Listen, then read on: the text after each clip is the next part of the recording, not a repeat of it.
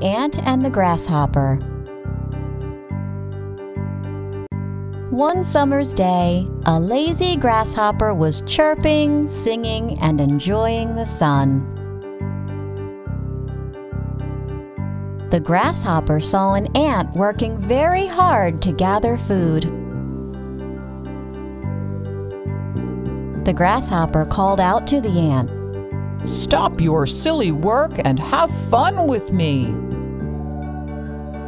No, replied the ant. I am gathering food for winter.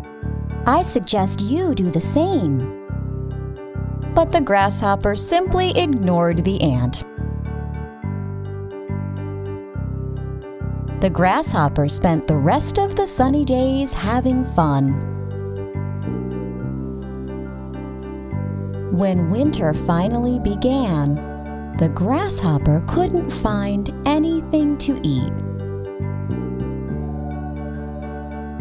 He searched for food everywhere, but everything was buried under the snow. He remembered the hard-working ant. He went to her house and cried, I am hungry. I cannot find anything to eat. The ant felt pity on him. The ant called the grasshopper inside and gave him food. The grasshopper ate happily and promised the ant that he would never sit idle in the days before winter. Moral of the story? Be responsible and prepare for days of necessity. The Hare and the Tortoise. Once upon a time, a tortoise was walking on the road. A hare saw him and started laughing loudly. Ha ha ha, look at you! You are so slow! The tortoise got angry and challenged the hare to a race. The hare immediately agreed, saying, Why not? I'm faster than you. I can beat you anytime. On the day of the race, the hare and the tortoise arrived at the starting line. The tiger waved the flag to signal the beginning of the race. The hare ran very fast, while the tortoise slowly followed behind. The hare was quite ahead of the tortoise in no time at all. He saw that the tortoise was walking slowly far behind him. The hare was so sure about winning the race that he decided to take a little nap under the tree. While the hare was dreaming, the tortoise continued walking slowly and went ahead of the hare. The hare woke up from his nap and saw the tortoise reaching the finish line. He started running, but it was too late. He couldn't reach there before the tortoise. The tortoise won the race. The hare started crying because he had lost the race to the slow tortoise. Moral of the story? Slow and steady wins the race.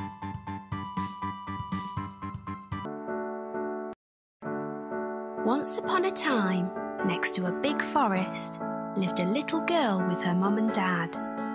Each time the little girl went into the forest, she wore a red hood. Everyone called her Little Red Riding Hood.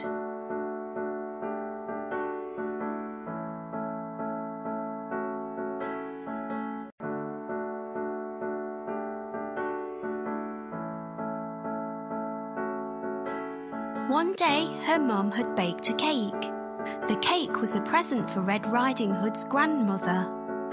Grandmother lived on the other side of the forest. Red Riding Hood's mum asked her to take the cake to Grandma.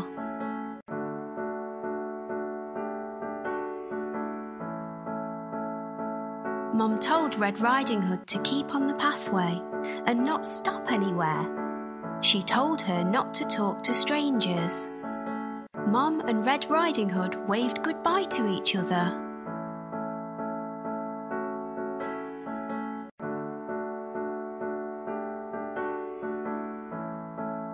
Little Red Riding Hood went into the forest. She had a basket on her arm with the cake inside. A big bad wolf was watching her. He was very hungry. Little Red Riding Hood did not see him.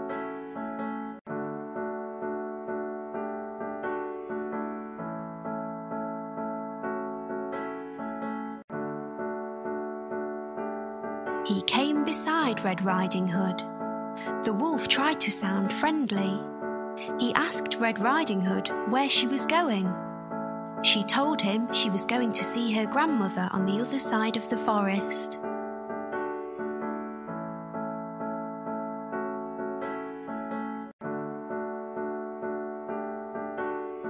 The big bad wolf told Red Riding Hood that she should pick some flowers for Grandma. As Red Riding Hood was picking the flowers, the wolf ran off. He wanted to get to Grandmother's house before Red Riding Hood.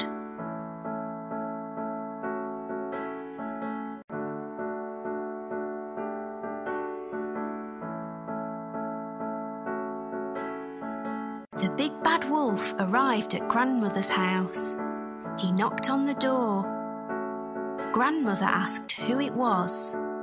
The wolf changed his voice and said it was Red Riding Hood.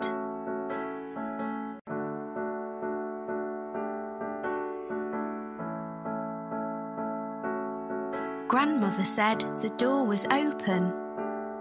The big bad wolf let himself in.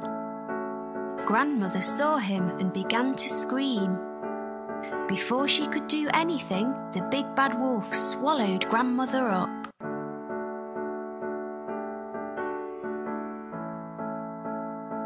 The big bad wolf was not satisfied. He wanted to eat Red Riding Hood as well. The big bad wolf dressed himself in grandmother's clothes. He climbed into her bed. He waited for Red Riding Hood to arrive.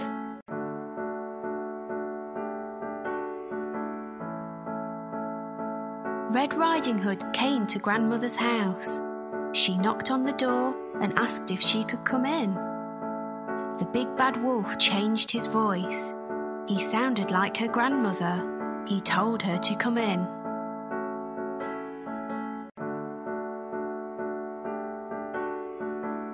Red Riding Hood said what a deep voice her grandmother had. The wolf said it was better to greet her with. Red Riding Hood moved closer to her grandmother. She said what big eyes she had. The wolf said they were better to see her with.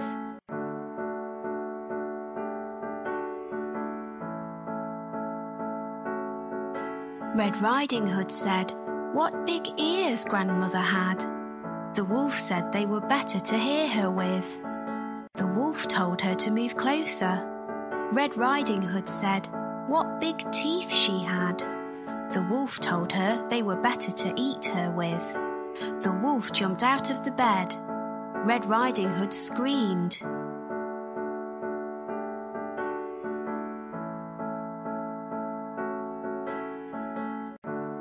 Red Riding Hood ran from the house. The big bad wolf chased her. She saw a woodcutter. Red Riding Hood told him that the wolf had eaten her grandmother.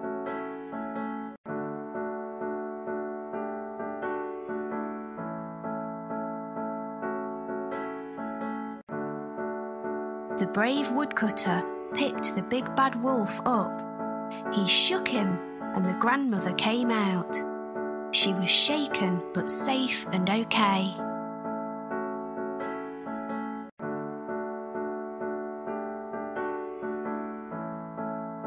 The woodcutter, grandmother, and Red Riding Hood all watched the wolf run away. They were happy now. The big bad wolf had gone.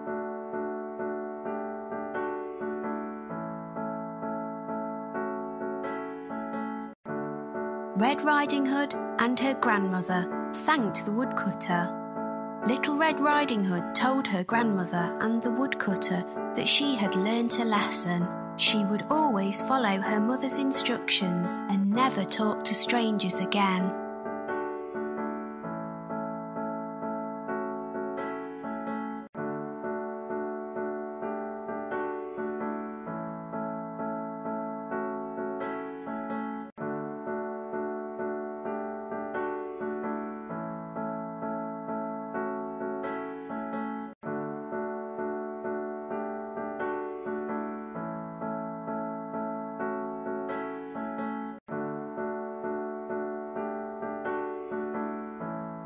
നിങ്ങൾക്കിത് ഇഷ്ടമായെങ്കിൽ channel subscribe ചെയ്യാൻ മറക്കരുതേ. കൂടുതൽ വീഡിയോകൾ നിങ്ങൾക്ക് ലഭിക്കാൻ bell icon click ചെയ്യുക.